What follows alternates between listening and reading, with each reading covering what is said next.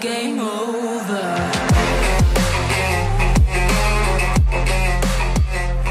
Swear. Everyone कैसे हो आप सब? हमारे पास आ चुकी है फायर की न्यूली लॉन्च्ड स्मार्ट वॉच जो कि है फायर एम्पर और ये मैंने खुद मंगाई है तो देखते हैं कैसी है ये स्मार्ट वॉच आप लोगों को लेनी चाहिए या नहीं लेनी चाहिए। जिस प्राइस ब्रैकेट पे लॉन्च हुई है, उस प्राइस ब्रैकेट में इतने सारे फीचर्स कोई और ब्रांड प्रोवाइड इस टाइम नहीं कर रहा है।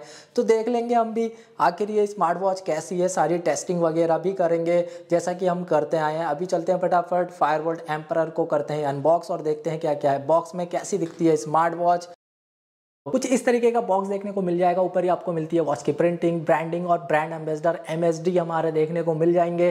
बैक साइड में कुछ फीचर्स लिखे गए हैं, जिसके बारे में हम आगे डिटेल में बात करते हैं।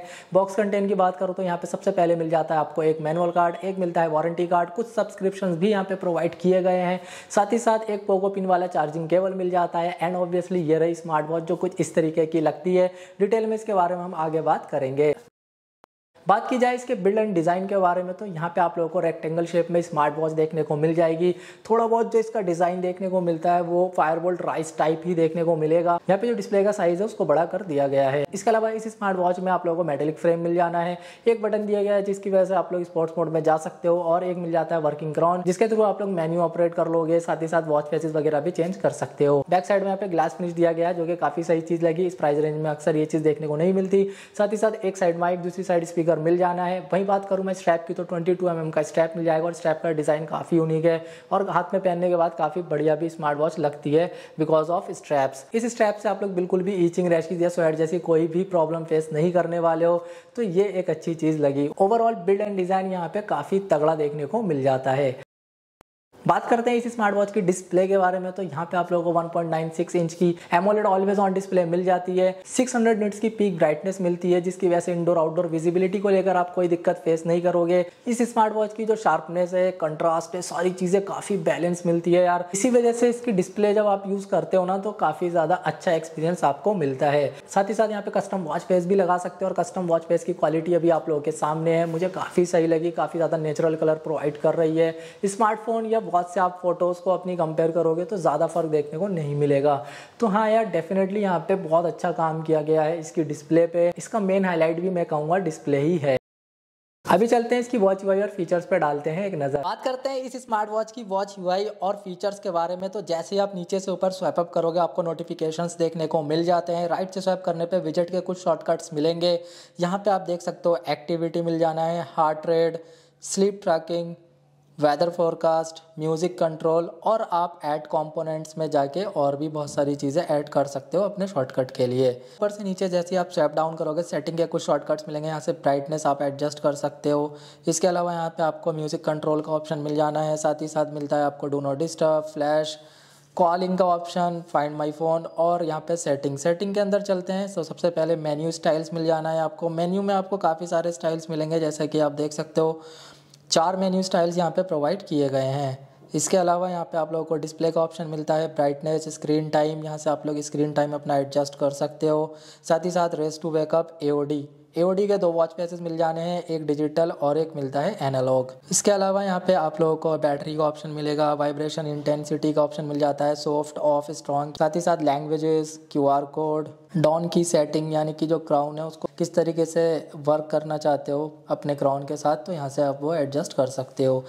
साथ ही साथ सेट टाइम पासवर्ड तो यहाँ पे आप लोग स्क्रीन लॉक लगा लोगे। सिस्टम सिस्टम के अंदर आपको system info shut down restart and reset का ऑप्शन भी मिल जाता है।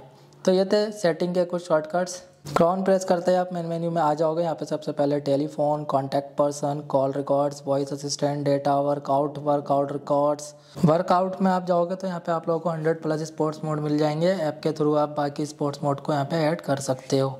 Heart rate sleep tracking blood pressure blood oxygen messages weather forecast female health tracking music control breath training stop watch timer alarm clock तो alarm को आप लोग app के थ्रू ही लगा पाओगे. फाइंड माई फ़ोन कैलकुलेटर जैसे बेहतरीन फीचर्स भी दिए गए हैं.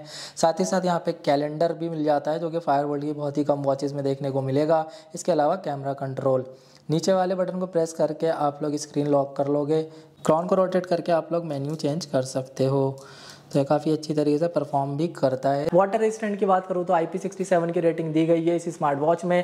बारिश वगैरह में यूज़ कर लोगे बट स्विमिंग नहीं कर सकते। साथ ही साथ इस स्मार्ट वॉच में आप लोगों को सेवन डेज़ का बैटरी बैकअप इजिली मिल जाना है। कॉलिंग के साथ दो से तीन दिन का एओडी प्लस कॉलिंग आप लोगों को सिर्फ़ एक से दो दिन का ही बैटरी बैकअप देखने को मिलता है। तो काफ़ी सही है अपने प्राइस के हिसाब से।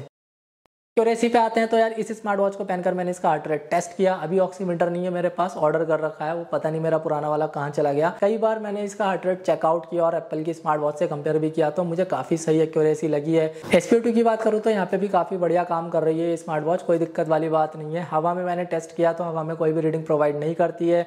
साथ ही साथ टेबल पे भी चेकआउट किया, वहाँ पे भी पॉपअप बना गया। Please wear the watch properly करके। स्टिल मैं ये कहूँगा यार, कोई भी स्मार्ट वॉच हो, आप लोग उस पर रिलाई मत रहा करो। सीरियस सिचुएशन में डॉक्टर से कंसल्ट किया करो चलते हैं फटाफट कॉलिंग क्वालिटी टेस्ट करते हैं और देखते हैं सामने वाले को आवाज़ कैसी जाती है हमको उसकी आवाज़ कैसी आती है। हेलो हेलो हाँ भाई क्या हाल है?